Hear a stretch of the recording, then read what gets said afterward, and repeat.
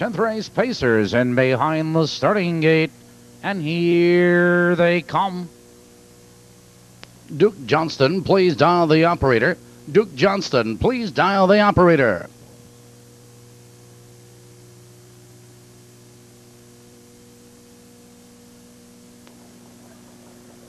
They're off. It's Big Leroy between horses. Rough gated was He Loves Gold. Now they drive into that first turn from the outside of the rush. Here comes Be Home Early. Be Home Early circles Big Leroy. And Be Home Early opens up by two lengths. Big Leroy. His second two lengths Count Gold. Third two lengths Wicked Mask. Four lengths back.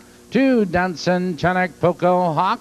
He loves gold. Trailing the field, that's Chicago White Sox. Driving by the quarter. Be home early has the lead.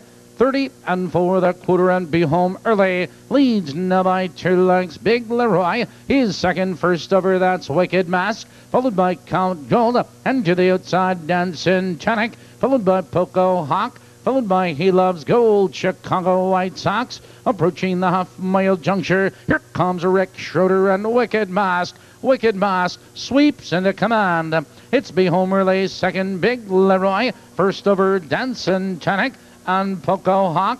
101 and 4 the races half over, and Wicked Mask leans into the clubhouse turn Be home early digs in on the inside second big leroy looks for racing room Johnson, Chinook, Count Gold, Poco Hawk, followed by Chicago White Sox, and he loves gold. Out of the turn, they curve into the backstretch, and Wicked Mask has the two length lead, but Big Leroy now third, moving second on the outside. It's Be Home early in third by three quarters. 132 flat into the final turn. It's Wicked Mask, three parts of a length. Big Leroy is on the outside trying to come on. Be Home early right there in third and Dancing Chinook. But at the top of the stretch, Wicked Mask now draws clear. Here they come, turning for home. Wicked Mask is opening up the lead now with every stride. It's Be Home early, Big Leroy and Dancing Chinook. Wicked Mask showing the way at the wire.